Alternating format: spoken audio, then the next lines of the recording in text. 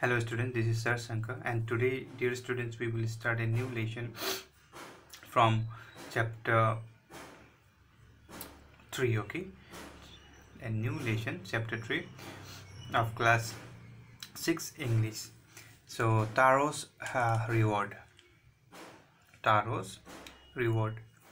So this is a story about a thoughtful and a loving son. Uh, who is a very thoughtful and loving also always taking care of uh, his parents always uh, fulfilling whatever the uh, needs are there of their parents you know. Very thoughtful and loved them also. He works hard. He works hard. He was not a lazy person. He a very working hard person. So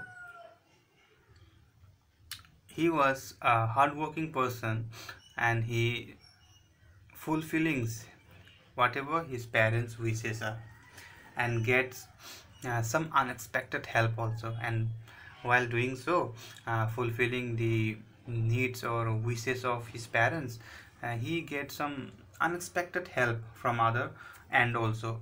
So let's see what help he gets uh, we will see in this story. This is a very interesting story. Just uh, listen carefully okay? I will explain it to you. So i hope you all are uh, ready no? With your books. So if you are not so please go and bring and sit with your book. Taro's reward. So a young woodcutter named taro lived with his mother and father on a lonely hillside. He lived with his mother and father. His uh, that young woodcutter's name was Taro. He was a woodcutter and his name was Taro and he lived with his father and mother in a very lonely hillside. then all day long what he did he chopped wood in the forest Though he worked very hard, he earned very little money. He is working so hard, but also earning very little money. So this uh, made him very sad, thinking that I am working hard so you know, but also not earning much amount. So for he was a thoughtful son and wanted to give his parents everything they needed. So whatever his parents they need no? Taro he want uh, he wanted uh, to give whatever his parents they need you know one evening what happened? When taro and his parents were sitting in a corner of their hut when they were sitting there in the hut in the corner of a hut a strong wind began to blow. There was a a strong wind it was blowing it whistled uh, through the cracks of the hut and everyone felt very cold. And because of that uh, wind which was blowing there when they were sitting in a corner of their hut then everyone no they were uh, feeling little bit cold. They were feeling cold. Then suddenly taro's father he said what he said after feeling cold I wish I had a cup of shake. It would warm me and do my old heart good. So he want a little bit what? Shake. Shake means a popular Japanese drink that pronounced like fa in father and k rhymes with we. So it is generally what is a Japanese drink. It is a Japanese drink. So he wanted uh, he wished to have that a cup of shake. So what would help him by having that shake? It would warm taro's father and he also had a old heart good. No he will have his heart no? Very good. It means he felt uh, he will feel much better. Now this made Taro sadder than ever. So he was uh, sad because working hard and earning little money. And when his father he had a wish to have that shake, that drink, uh, Taro became very sad. Than before also. Before little bit he was sad, but now sadder than that, sadder than ever. So for the hard warming drink cold shake was very expensive and that drink was very expensive to buy and he had no money to buy. And he wanted whatever his parents uh, want you know he wanted to fulfill. But now he had little money he wanted to buy but that shake was very expensive. So how do i earn more money uh, he was thinking. He asked himself how do I get a little shake for my poor old father how do I get no कैसे लाऊं मैं वो drink father के लिए he decided to work harder than before so he was working hard before as you all know but uh, now he was working harder than before also to earn extra money for the shake Next morning, Taro jumped out of the bed earlier than usual and made his way into the forest. Then he was chopping the cut. He was chopping and he was cutting, chopping, cutting. Okay, and as the sun uh, climbed, and soon he was so warm that he had to take off his jacket. So he took off his jacket when there was. Uh, he was feeling very uh, hot no so he took off his jacket and his mouth was dry now because of the hot sun so and his face was wet with sweat. His face what happened was wet. All in half in his face the, uh, because of that weight it became because of the um, sweat. Mm, sweat means pasina you know. Because of the sweat uh, his face become wet. Wet means bigger bigger. So my oh my poor old father he thought even uh, if only he was as warm as i. And with that he began to chop even faster. Thinking of the extra money he must earn to buy the shake to warm the old man's bones. So he was thinking about his old fathers and again he was chopping faster than before also and to get extra money so that he can buy the shake for his fathers. Now and with that he began to chop even faster thinking of the extra money he must earn to buy the shake to warm the old uh, man's bones. So now then suddenly Taro stopped chopping. He stopped chopping okay? He stopped chopping then he heard a sound. He heard a sound.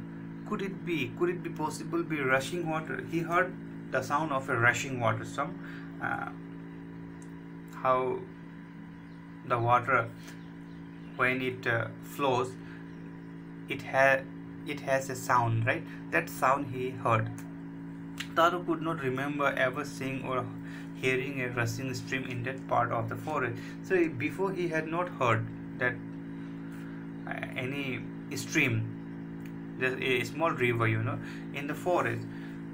Now by hearing that rushing no sound, so he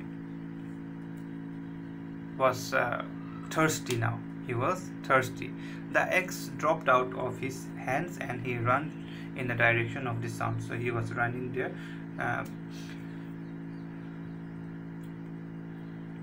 he was running where? In the direction of the sound where? In the stream. So that to kill his uh, thirst.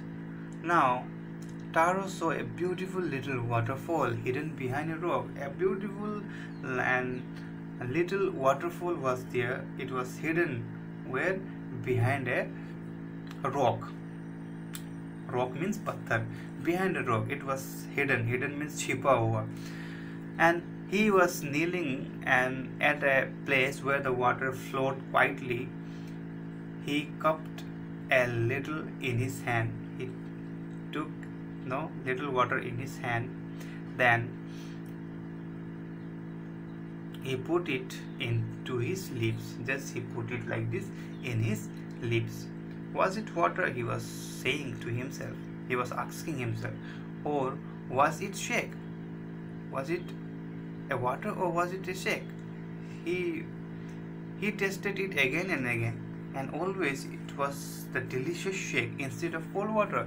So as he was drinking that water he was getting the taste of a shake means that drinks that taste of that drink. And Taro quickly filled the pitcher that he had. Pitcher means to carry some water no? You can see here in the picture. Pitcher. All right.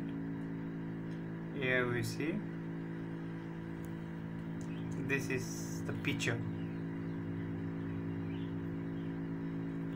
pitcher okay?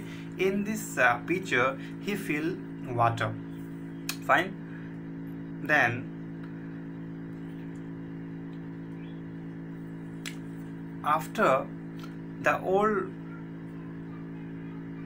Taro he quickly filled the pitcher he had with him and he hurried. After filling the pitcher he hurried uh, home. He went home okay quickly. Then the old man was very delighted with the shake. After getting that shake the old man was very delighted. He wanted no he had that uh, wish to have the shake. But at that time he had not. Now his son taro had uh, brought for him. So so for that uh, he was very happy. So after only one swallow of the liquid he stopped shivering and did a little dance in the middle of the floor.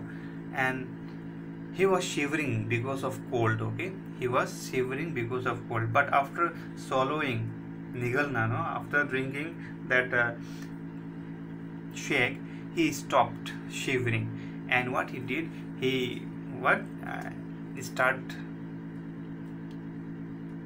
he did a little dance in the middle of the floor. He started dancing in the middle of the floor now, that afternoon, a neighbor he stopped by, a neighbor he stopped by for a visit. Taro's father politely offered her offered her a cup of a cup of the shake. So the lady drank it greedily and thanked the old man. Then Taro told her the story of the magic waterfall, thanking them for the delicious drink she left in a hurry. By nightfall, she had spread the story throughout the whole village. So, when a visitor came in Taro's house, so he had offered that shake to her, and very greedily, you know, uh, she drank that uh, shake, and Taro he told about that waterfall to her also, and she hurriedly she uh, left that place and by night whatever she had spread this when she reached her place in her village you know she spread this news throughout the whole village. Then after that what will happen uh, after finishing the point 8 we will see in the next class uh, from point 9 let's see uh, what will happen uh, after getting this uh, news by the villagers okay? By the villagers what they will uh, do and what taro uh, he would do. Let's see in the next class. So i will send this video to you uh, then what you can do. I will send some questions also. You do it at home. Let's see how much you have understood. So you send the answers also okay after solving the questions. So then only i uh, come to know that uh, how much you have understood. If the answer is uh, or the answers are incorrect it's okay but you do it by yourself. Don't take any help from your fathers or mothers or brothers anyone no. You do it by yourself. I only want here uh, your understanding how much you have understood. That i wanted to know okay? So today i stop here. Take care keep reading this uh, lesson. Read this lesson to understand in a better way. In the next class we will start uh, we will continue again okay? So i stopped here. Take care. Thank you very much. Have a great day